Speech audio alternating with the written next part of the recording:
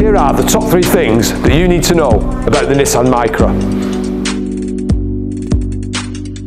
Number one, the Nissan Micra on most models comes with Apple CarPlay.